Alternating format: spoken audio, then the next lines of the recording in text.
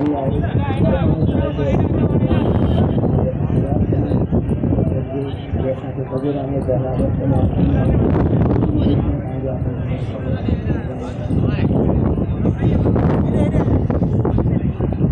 Photo आ जाएगा camera बंद करा।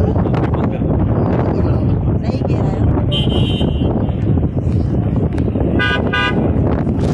ये ex M P A Shafqat Hussain Shah Jilani की नमाज़ जनाजा ख़त्म होने के बाद